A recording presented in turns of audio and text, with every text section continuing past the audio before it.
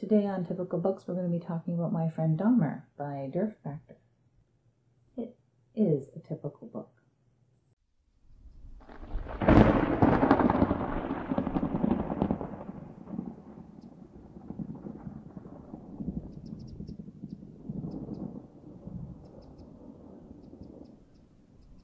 My Friend Dahmer. It is a typical book. It is lovingly repackaged from its original state as a short graphic novel and expanded upon, re-illustrated, and everything.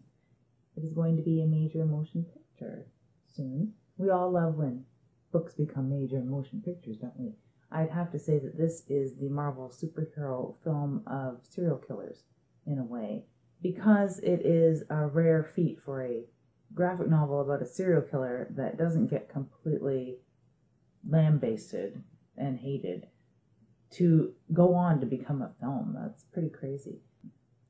Jeffrey Dahmer will always have a certain place in the minds of those very interested in learning about serial killers, not only to understand better the minds that are broken, but to better understand some of the things that are close to breaking within a very well adjusted, high functioning person who is no threat to themselves or society, but operates on a level not dissimilar. If you want to read a heavy story about a disturbing teenager, My Friend Dahmer will certainly quench your dark little desires, but this book is about a lot of other things, and things that matter much, much more. That's from Chuck Klosterman, the author of Sex, Drugs, and Cocoa Puffs, The Low Culture Manifesto, and author of The Visible Man. I don't know who Chuck Klosterman is, but that's about right. It is about much, much more. And it is a very, very dark little book but at the same time kind of lighthearted because you want to talk about high school in the 70s and what it was like. We have snapshots of what Dahmer was like, but this is one of his friends. The only thing that he could have called a friend, really, aside from the dog hanging in the bushes behind his house or the pig in a jar. It is a softcover book with some more information on Derf Backderf, the illustrator who had taken it upon himself to capture a lot of what Dahmer was doing in high school through joke illustrations. Because he's been an illustrator all of his life, I take it, and through high school actually incorporated Jeffrey Dahmer into a lot of his funny illustrations he would do, I guess in class, like most illustrators do, instead of actually paying attention to the teacher. And I don't blame him.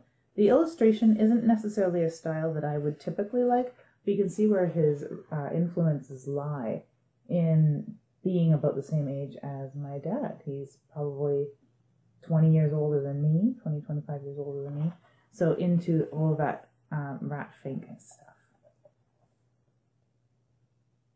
And I guess you would have to be about 20, 25 years older than me to understand the rat fink reference.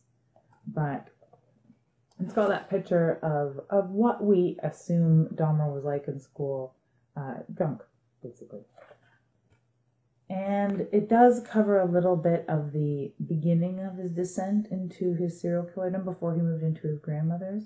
So it is a really interesting snapshot and well worth it, you know, especially if you're going to go see the movie or if you've just seen the movie. Then I think that this is the ultimate companion to that. And for those who don't like the idea of having to read a whole book before going to see a movie, it is a couple hours really to sit down and get through this. And it's very, very rich. The illustrations are very well done. The story is extremely rich. The cover doesn't wrap around, but it's got some shots of what it would be like living in the suburbia near where I live with forests surrounding, but like the edges of suburbia, I take it.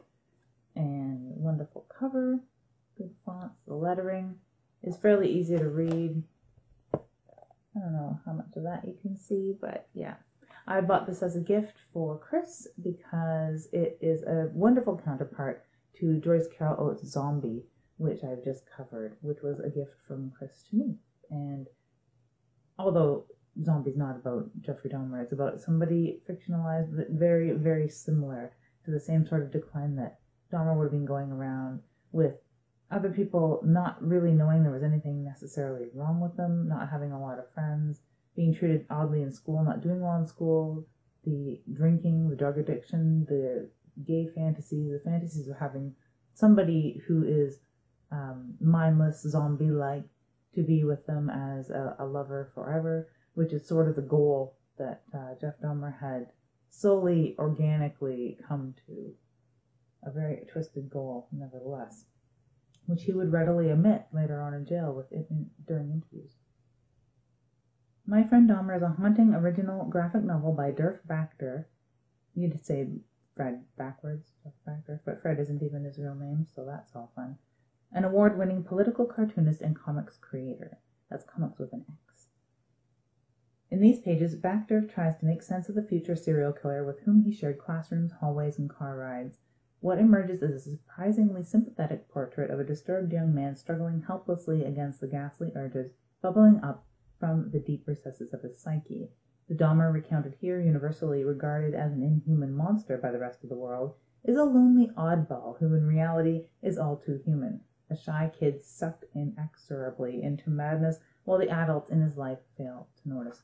The adults and his friends. His friends knew there was something strange about him, definitely, in his Dahmerisms, imitating somebody with uh, some spastic disorder, uh, and his incessant drinking and missing class and just being generally a 100% loner. Otherwise, uh, they definitely knew there was something wrong.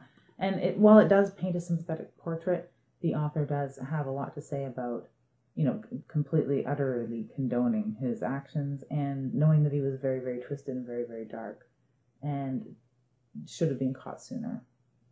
Can't lay blame on the parents or his friends and those around him, but can lay some blame on law enforcement. But we all know that story, don't we?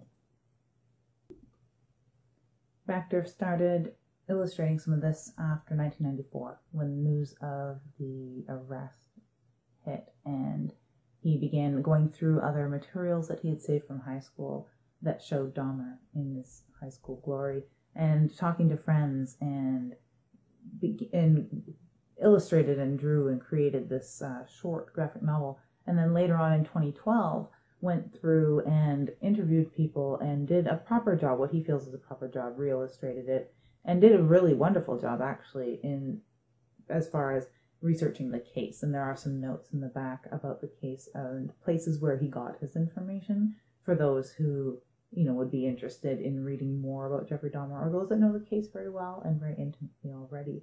You know, it's a really good resource that way. So if you don't know much about Jeffrey Dahmer, I wouldn't normally um, consider a comic book as your number one go-to resource, but this is a really good start actually if you don't know anything about Jeff Dahmer. If you've lived on Mars in a cave for all this time, or just aren't interested in this sort of thing, but are interested in horror because you would be here typical books if you're interested in horror.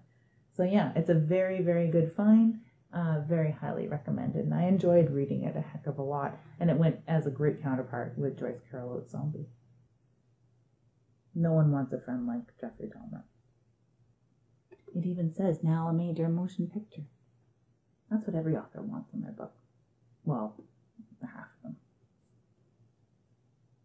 A well told, powerful story, Backderf is quite skilled in using comics to tell this tale of a truly weird and sinister 1970s adolescent world from R. Crumb, Robert Crumb. And Robert Crumb is part and parcel of my Ratfink reference. You can tell I have only barely flipped through this very carefully because it is a gift for my husband, Chris. I'd say a Merry Christmas, but I mean, who gives a Jeffrey Dahmer book to people for Christmas? Like, really?